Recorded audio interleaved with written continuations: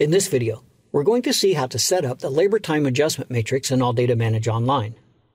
With this feature, we can either increase or decrease the labor time in the OEM catalog. To access and set up this feature, we go to Setup. Then select User Options and Labor Time Adjustment. There are two matrices that can be utilized. The first is for regular repair labor operations, and the second is for service interval or maintenance times. Both are set up and adjust the catalog the same way, so we'll just look at the first one. This feature can be enabled or disabled by checking this box. To save my change, I'll click Update.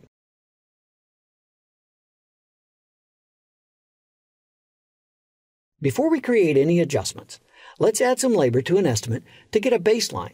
Then we'll create several types of adjustments and look at how they affect the times. For this demonstration, I'm going to add labor times on this Taurus.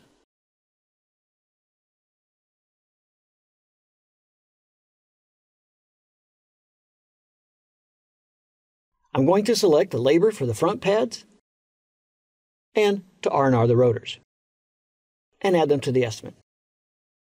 Now, let's create some adjustments and see how they affect the times.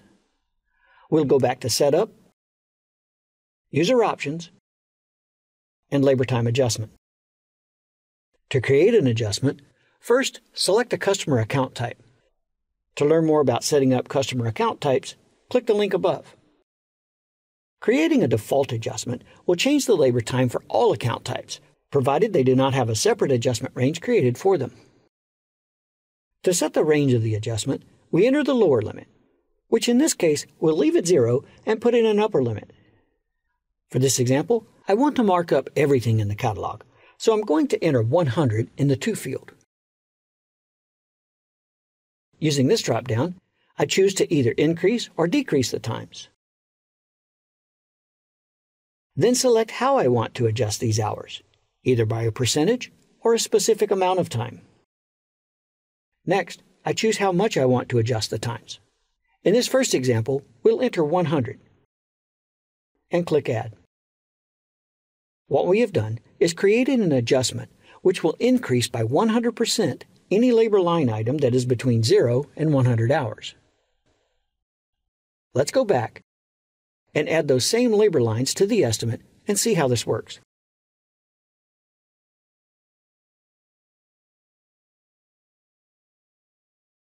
Back in the catalog, we see there is an asterisk next to the labor times. This indicates that an adjustment has been applied to it. Let's add those same line items and compare them to the originals. We can see that both line items are increased by 100%. The original times were 0.8 and 0.2, and in the second job, they are 1.6 and 0.4. This is how you would mark up everything in the catalog by a single amount. Let's go back and see other ways to adjust the times. I'm going to edit this line we created by clicking the Edit icon. This time, we're going to create ranges of markups, so let's change the upper limit to 0.5 hours. We'll leave the markup at 100% and click Update. Notice that the From box is automatically filled in for me at 0.6 hours to start the next range. We'll enter 2.0 in the To field, enter a value of 50%, and click Add. We now have two ranges of markup.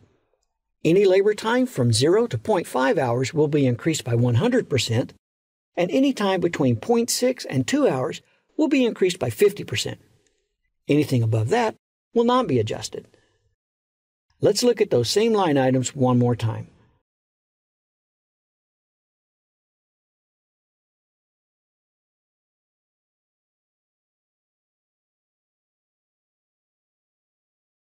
We can see that the time for the pads of 0.8 has been increased by 50% or 0.4 hours because it falls into the range of 0.6 to 2 hours.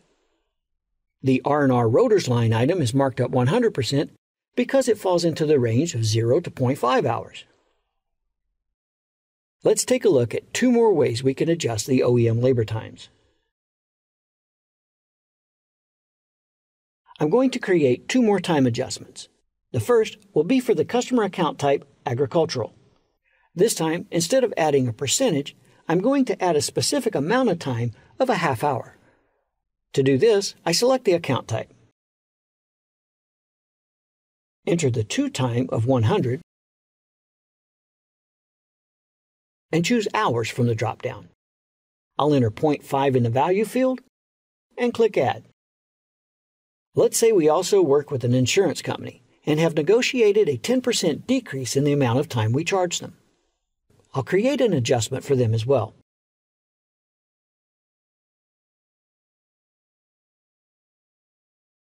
This time, I choose Decrease and enter 10 in the value field. This time adjustment will work the same as the first two examples, except it will lower the labor times by a percentage rather than increasing them and only for customers who have an account type of insurance. If I reset my dropdown, we can see all of the matrices we've created. Let's take a look at how the adjustment works for the agricultural account type. To show this adjustment, I need to edit the customer and change their account type to agricultural. For clarity, I've deleted the two previous markup examples, but left the original job with no adjustments applied. Once again, we'll add the same labor lines.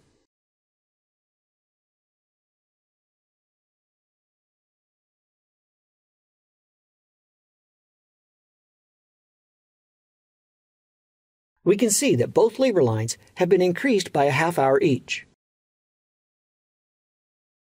The labor time adjustment feature gives you control over labor times and the ability to adjust the time charged based on customer type.